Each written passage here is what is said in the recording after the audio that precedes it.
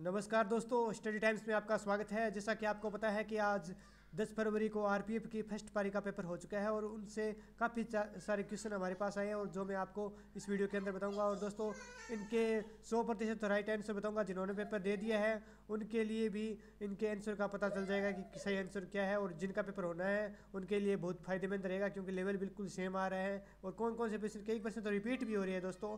और बिल्कुल एक ही टॉपिक से प्रश्न आ रहे हैं जो मैं आपको बताने वाला हूँ। तो दोस्तों, जल्दी से मैं आपको बता देता हूँ और सब्सक्राइब नहीं किया तो जल्दी से सब्सक्राइब करना और वीडियो को लाइक भी करना ताकि हम मोटिवेट होते रहें। तो दोस्तों, पहला क्वेश्चन है, आप देख सकते हैं, संपत्ति बाज़ार में रियल इस्टेट किसे कहा जाता है? भूमि है वो रियायती क्षेत्र है उसे रियल इस्टेट के नाम से जाना जाता है। इकोनॉमिक से प्रश्न आ रहे हैं, केंद्र सरकार की ओर से, भारत में मुद्रा नोट जारी करने का अधिकार किसके? पास है तो भारतीय रिज़र्व बैंक को ये अधिकार दिया गया है। अगले प्रश्न की ओर बढ़ते हैं। इकोनॉमिक्स से आपको पहले भी बताया है। मैं डेली आपको क्वेश्चन बताता हूँ तो कहता हूँ कि इकोनॉमिक्स आप इकोनॉमिक्स पढ़ लीजिए। इकोनॉमिक्स से काफ़ी सारे क्वेश्चन इसमें आ रहे हैं। अगले क्वेश्चन की ओर बढ़ते हैं। तो अगला प्रश्न है, कुरु महाजनपद की राजधानी कौन सी थी? इंद्रप्रस्थ राजधानी, कुरु महाजनपद की। और किस भारतीय राजा ने सिकंदर का विरोध किया था? तो पोर्स ने सिकंदर का विरोध किया था। इलेक्ट्रॉनिक्स विद्युत आवेश के किस किस्म का परमाणु है? ऋणात्मक और हाइड्रोजन बम का सिद्धांत कौन सा है? तो नाभिकीय सलियन का सिद्धांत हाइड्रोजन बम का है। ये हाइड्रोजन, हीलियम और जो परमाणु है, परमाणु से संबंधित क्वेश्चन भी इसमें पूछा जाए पीछे कल वाले पेपर में परमाणु से संबंधित भी क्वेश्चन आया था। और अगला क्वेश्चन है, ये आप देख सकते हैं, एक छात्रावास में 120 छात्र हैं और खाद्य सामग्री 45 दिनों के लिए है। यदि छात्रावास में तीस छात्र नए और आगे तो वही खाद्य सामग्री कितने दिनों में समाप्त हो जाएगी? तो ये मैथ का क्वेश्चन है। आप खुद हल करके देखिए। वीडियो को यहीं रोक कर आप इस प्रश्न का हल कीजिए। बिल्कुल इसी लेवल के आ रहे हैं। मैंने आपको बता दिया, टाइम एंड वर्क तो आप रट लीजिए। अगर आपका पेपर अभी होने वाला है तो टाइम एंड वर्क रट लीजिए ताकि आपको बहुत ज़्यादा पेपर में मतलब आप फाइट अच्छे तरीके से कर सकोगे, क्योंकि टाइम एंड वर्क से हर पेपर में जितने भी अब तक पेपर हुए हैं, उनमें टाइम एंड वर्क से तो क्वेश्चन पक्का आ रहा है। तो इस इस वीडियो को रोककर यहाँ पर इस क्वेश्चन का हल कीजिए।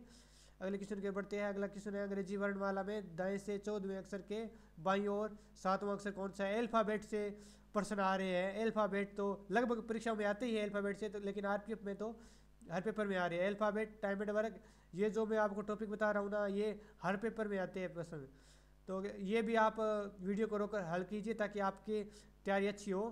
और अगले क्वेश्चन की ओर बढ़ते हैं। अगला क्वेश्चन है, भारत का राष्ट्रपति लोकसभा में कितने सदस्य नामित कर सकता है? लोकसभा में दो सदस्य नामित कर सकता है। और राज्य की मंत्री परिषद किसके प्रति जवाबदेह है? राज्य की विधानसभा के प्रति। ये राज राजनीति से प्रश्न है। किस मुगल शासक द्वारा दिल्ली में लाल किले का निर्माण कराया गया? शाहजहां।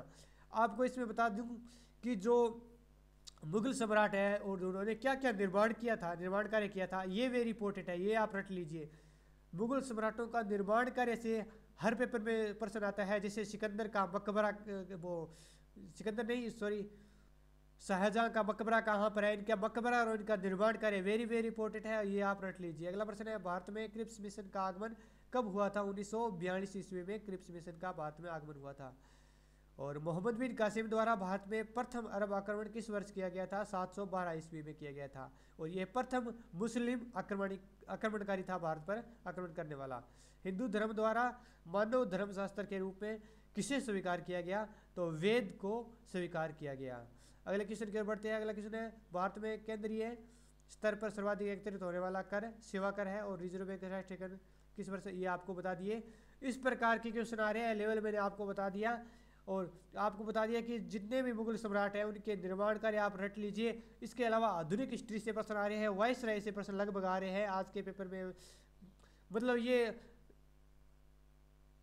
जो टॉपिक है सेम टॉपिक बिल्कुल, और सभी पेपरों में लेवल है जो पेपर का, वो बिल्कुल एकदम सेम लेवल है। प्रश्न चेंज होते हैं, लेकिन लेवल, टॉपिक चेंज नहीं होता है। तो आप, इससे आपको बहुत ज़्यादा फ़ायदा होगा, और इससे आप लेवल भी समझ पाएँगे, और जो मैथ और रीजनिंग के क्वेश्चन थे उनको आप हल भी करके देखिए, ताकि आपको तैयारी में सहायता मिले। धन्यवाद दोस्तों, वीडियो को लाइक ज़रूर कीजिए, और चैनल को सब्सक्राइब नहीं किया है तो सब्सक्राइब भी कर लीजिए, ताकि इसी तरह आपको एनालाइज मिलता रहे। धन्यवाद।